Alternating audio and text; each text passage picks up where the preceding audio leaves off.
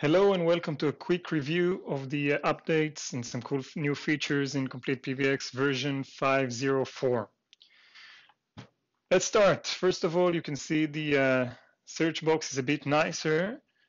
And when I search, now it clears automatically so I can go to the, ne the next search immediately. Okay, next we've uh, enabled trunk-to-trunk -trunk connections.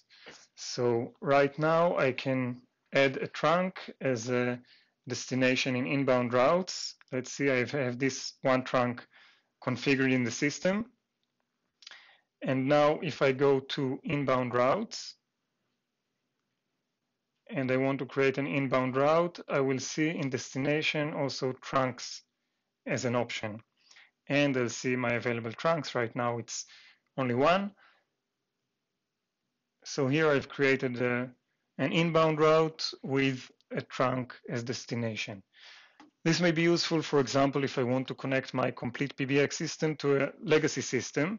Okay, let's say there's a user that has a big legacy system. They're not ready to uh, get rid of it as of yet, but they want to expand it. They want to add functionality. They want to add extensions or whatever, uh, for whatever reason they want to connect complete PBX, this is a neat and easy way to do that.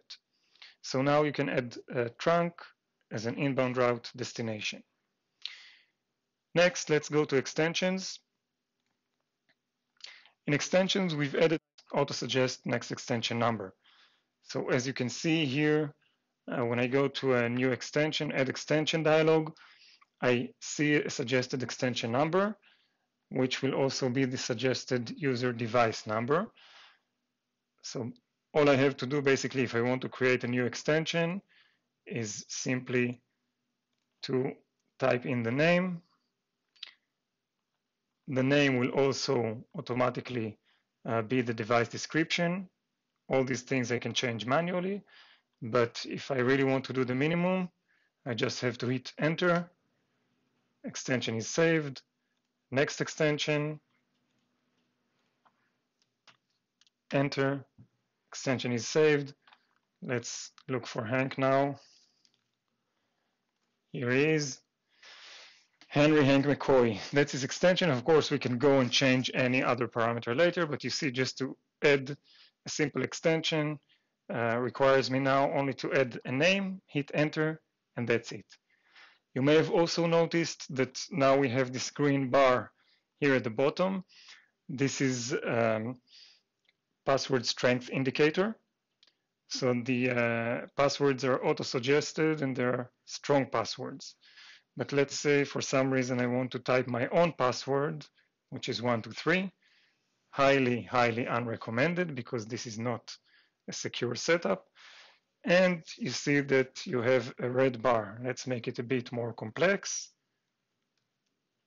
Okay, and now this bar becomes orange, still not good enough. Let's make it more complex yet. Now it's a good enough password, strong and safe, and we can use it as our SIP password.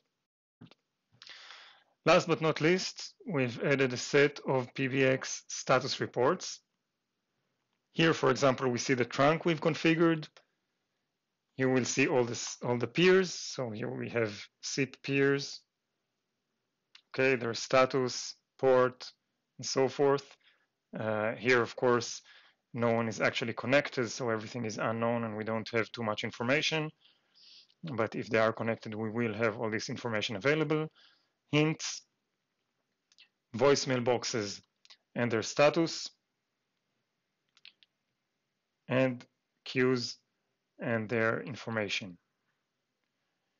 So these are some of the uh, new features we've introduced.